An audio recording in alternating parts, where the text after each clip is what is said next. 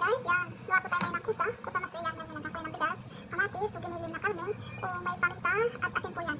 Haluin na natin. Yan, sorry po ha, kasi nakakamay lang ako. Kasi hindi ako mag-gloves. Para mabilis. Bilis lang po. Yan, haluin. Haluin, mix, mix.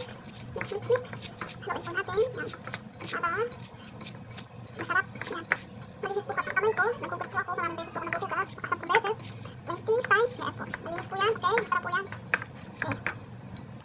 Okay. Tagayan po natin yung laman niya sa loob. Dahan-dahan lang po. Tapos ito, ito po, tinanggalan po natin yung laman niya sa loob.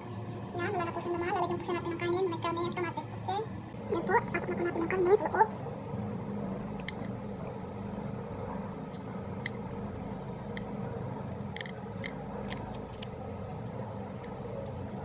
Huwag po natin kakasiksikin para hindi siya pumutok pagka naluto na. Kasi kapag naluto siya, yung bigas niya, lalambot. So, para siyang hihilab. Okay?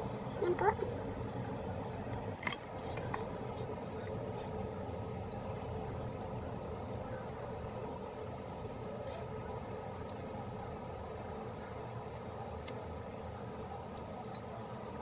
Ay.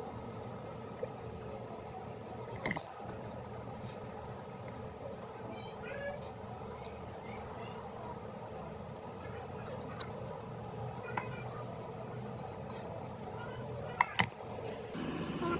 siya. Kaya kumukulo, kumukulo na po siya. Ilutoy natin, ilutoy lang natin siya kahit sa hindi po na siya malambot na lalagyan natin ng bawang.